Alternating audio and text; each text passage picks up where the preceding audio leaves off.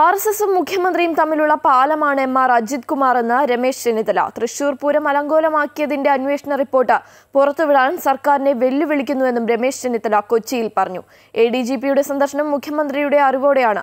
A D G പിയെ എന്തുകൊണ്ട് മുഖ്യമന്ത്രി സംരക്ഷിക്കുന്നു എന്നതിന് തെളിവാണ് ബി ജെ പിയുമായുള്ള ഈ ബന്ധം. തൃശൂർ പൂരം അലങ്കോലപ്പെടുത്തിയതിന് പിന്നിൽ ഈ രഹസ്യധാരണയാണ്.